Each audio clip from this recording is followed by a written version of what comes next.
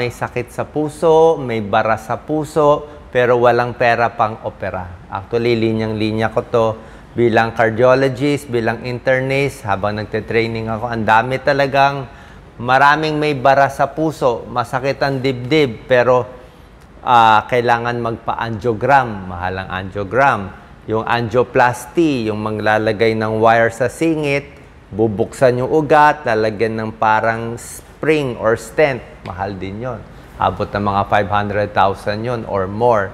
Tapos kung barado talaga yung ugat, yung mga triple bypass, quadruple bypass, mahal din yon, million din, wala talagang libre. Pero meron tayong good news sa ilang mga pasyente. Merong isang pangyayari, actually matatawag ko quote-unquote miracle to, na kahit barado ang puso at walang pera pang opera, pwedeng gumaling yung pasyente in a few instance. Okay? Parang natural heart bypass siya. Okay? Hindi to fake, hindi to magic, hindi to panloloko. Tunay po to nangyayari. Actually, nasa picture na to yung natural heart bypass eh. Kung nakikita nyo lang eh. Pero baka mahirap nyo maintindihan tong ah, picture na to. Mamaya, explain ko. Barado yung main ugat. Ito yung angiogram to. Ito yung tatlong malaking ugat to. Barado. Pero kahit barado tong ugat, ine-expect namin yung pasyente, dapat nakaratay na, hindi na makagalaw. Pero itong pasyente, walang sintomas, malakas, tumatakbo, okay. So bakit baradong barado ugat niya? Dapat operahan na siya pero wala siyang sintomas, parang okay na okay siya. Alam niyo bakit? Meron siyang natural na ekstrang ugat na binigay ng Diyos sa kanya. Ayan yung mga ekstrang ugat. Pakita mo nga, Doc Lisa. Pag nakakita kami ng mga consultant ko ng ganito, sabihin parang miracle, pampabuhay. Ayan no, ang daming dark areas na puro ugat to. So, barado nga yung main highway niya, parang EDSA yan, barado, pero yung daanan niya sa Guadalupe, sa Ortigas, sa Cubao, lahat, sa Shaw, bukas lahat. Lumaki pa yung daanan niya sa Shaw, sa Ortigas. Kaya, kahit barado yung EDSA, walang traffic, paano? Lilipat lang yung dugo eh. So, nawalan ng daanan dito, pero lilipat lang. Yung iba dumaan dyan, no? kaya dumami siya. Mas malinaw na picture. Yan, no? ito yung mga ugat natin sa puso. So, ito nagbara bigla, na heart attack siya, wala siyang extra natural highway. Wala siya nitong collateral. Walang oras na bara eh. Kaya ito kita mo, namuti na heart attack, namatay yung puso, nangitim, nagkalyo, nagpeklat, pwedeng mamatay yung pasyente. Pero itong kabilang pasyente, mas swerte. Unti-unti nagbara tong ugat niya, same ugat, pero kita mo, meron siyang extra, high, extra highway. Ang daming extra, 1, 2, 3, 4, 5, 6, 7. Ang dami niyang extra daanan. So kahit nag-block yung EDSA niya, ang dami niyang daanan sa side, ang ganda. So tuturuan ko kayo, bakit may pasyenteng sinuswerte na nagkakaroon nitong extra collateral, ang tawag namin yan bilang cardiologist, at may pasyente na sabihin natin hindi gumagawa, na medyo mas hindi swerte.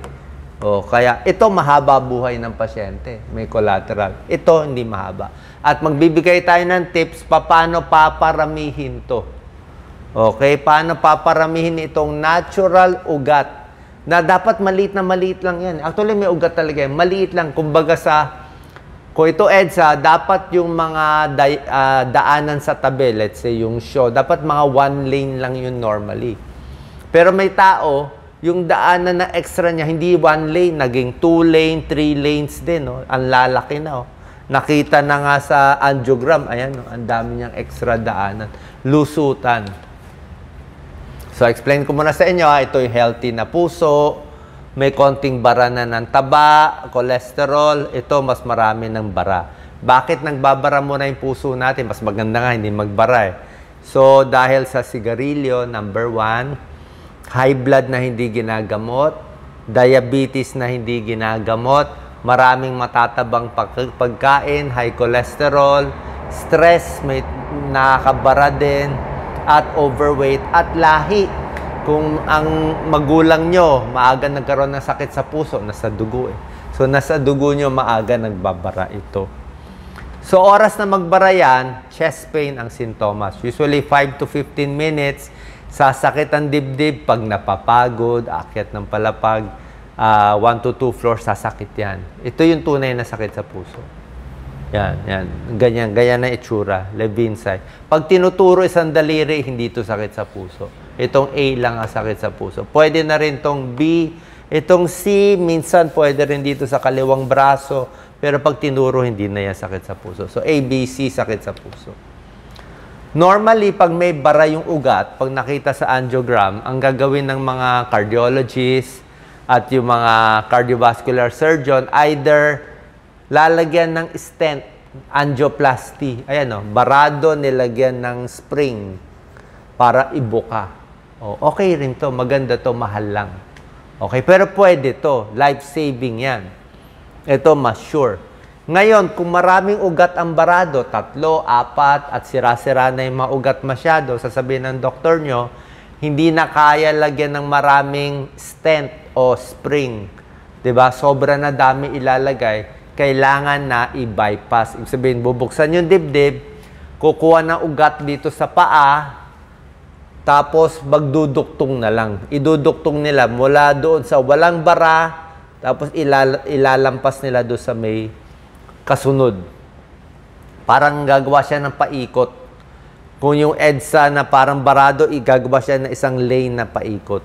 'Di ba? Pero ang problema lang dito, bubuksan ng dibdib. So major operation, may konting risk 'yon, 'di ba? May risk 'yon. Okay? So ito yung sinasabi ko, may taong swerte kahit barado, may maliliit na ugat na collateral. Ayan, no? Pero medyo maliit pa to. Ibig sabihin, may mga ibang daanan. So kahit nagbarato, hindi pa mamamatay itong part ng puso kasi meron pang dugo na nagbibigay ng buhay konti. Okay? Collaterals, tunay po yan. Natural bypass tawag natin dyan. Okay? Ano yung mga bagay, ito pa, ito pa sa example, oh. Dapat maliit lang yung daanan? Oh yung mga nag-exercise madalas. So kahit may bara ka na sa puso, kung unti-unti ka nag-exercise, lakad konti, sasakit ang dibdib, pahinga muna, mamaya lakad konti. So pag unti-unti lang, doon lang sa level mo, uh, pwede ka ma-stimulate na gumawa nitong mga collateral. Parang to barado. Kahit barado yung isang ugat, dahil nag-exercise ka, dadami ang blood flow. Pag dumami ang blood flow doon sa maayos na ugat, mapipilitan lumaki itong ibang daan.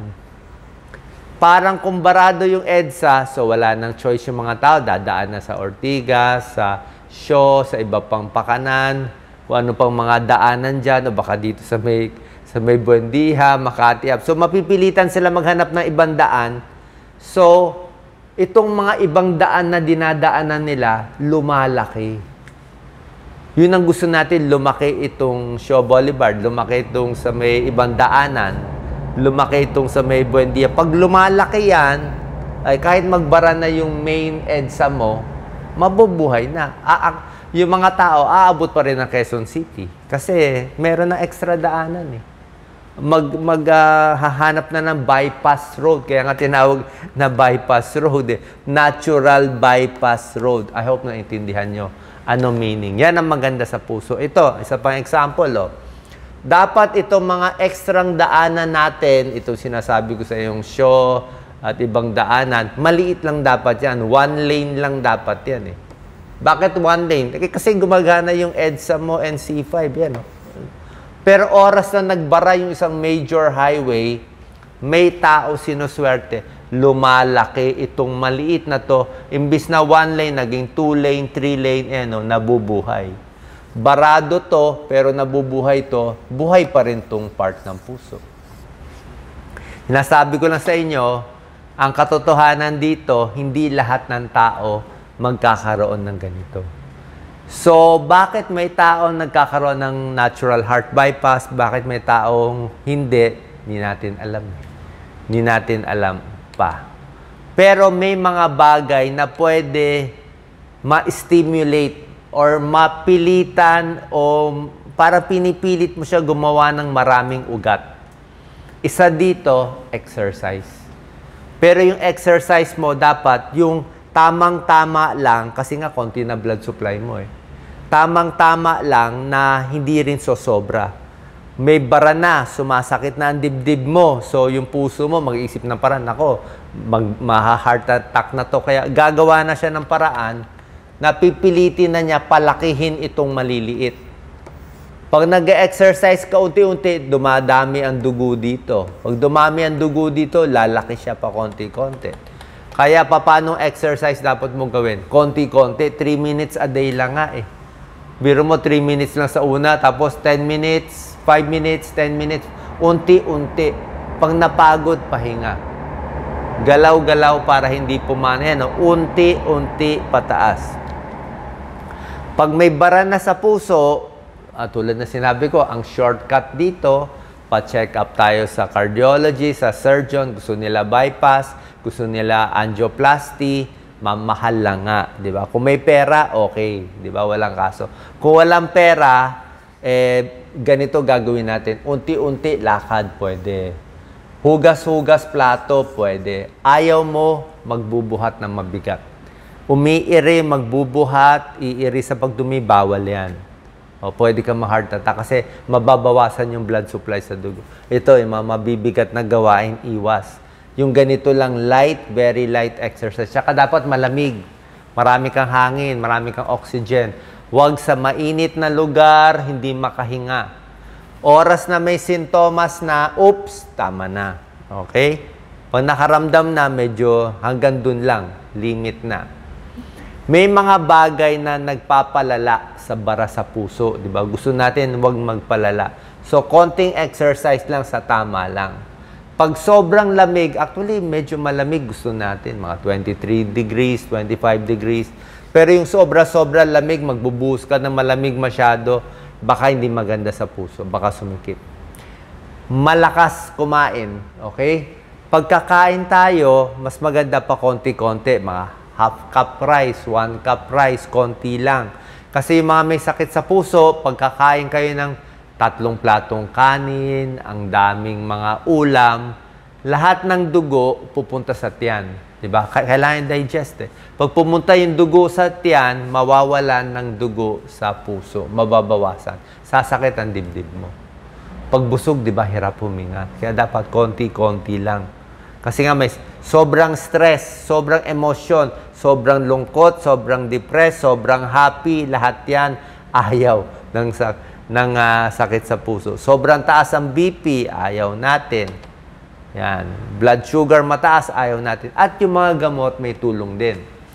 Yung mga gamot, nakakatulong din yan, pampaluwag ng ugat, Hopefully, pati itong mga natural bypass na collateral, mapaparami din yan. Pampalabnaw ng dugo, aspirin, clopidogrel. Yan ang nire-reseta namin. Depende sa doktor nyo. Okay? Huwag gagawin nang walang paalam sa doktor. Kasi may benepisyo, may side effect din. Pag mataas ang cholesterol, di gulay, isda, oatmeal, di ba? Green leafy vegetables. Pero kung mataas na mataas ang cholesterol, meron ding mga statin na gamot, may tulong din yan. Mas nababawasan yung bara. Meron ding mga gamot sa puso, beta blocker, metoprolol, pampabagal ng tibok para mas relax yung puso. Calcium channel blocker, amlodipine, felodipine para mas bumaba blood pressure. Nitrates, yan binibigay namin, mga Isordil, Imdur, ISDN, ISMN, para mas bumuka yung maugat. Lahat ito nakakatulong para mas gumanda yung kondisyon ng puso at may time makagawa nitong collateral. Healthy food, wag na masyadong fast food at prito. Blood pressure ayusin, blood sugar, cholesterol, yan, ingat sa BP at wag magpapataba. Masyado mataba, masirap yung katawan.